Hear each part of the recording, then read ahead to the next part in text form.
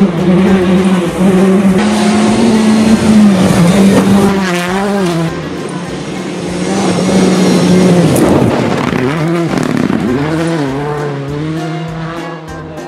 great to be here in Greece, you know, it's, the roads are amazing, the fans have so much passion and you can really notice it uh, already on the test. It's a lot of people, all the organizers are so helpful, so it's been a great days here in, in Greece and uh, I have to say it's been fantastic. And uh, okay, we've done a lot of progress, and we still have some work to do. But uh, I think car is getting much and much faster and uh, it lo looks good I have to say I'm very very happy but uh, we have a few other things we have to solve but uh, that's part of a new car I guess and yeah, we just have to work and hope for the best at the event. We saw a few fragilities in the car in Ypres. How confident are you about the strength of this new car? Oh, you know the guys are working so hard, and you have to remember that it's only been two three weeks between uh, between uh, to make new parts for Greece, and it's not a lot of time, especially now in COVID times. You know, with the production, it takes so long time. So, for sure, it's not easy to make brand new things, but they've come up with a few solutions that we can do on short short term, and uh, it looks like it's been working better and better. So, let's pray to the gods in Greece.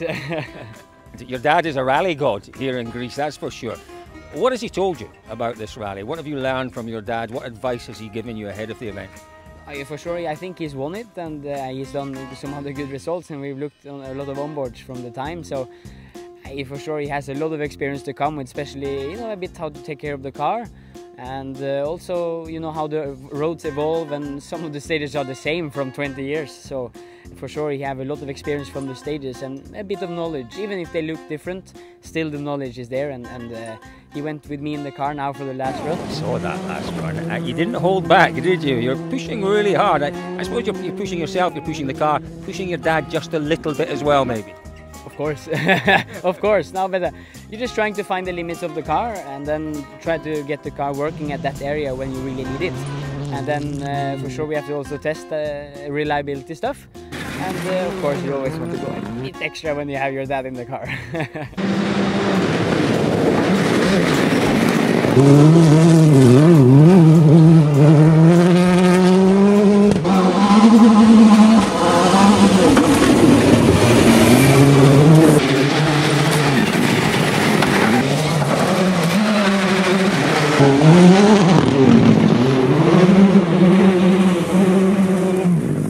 What is the most important thing that you've learned in your five or six days here?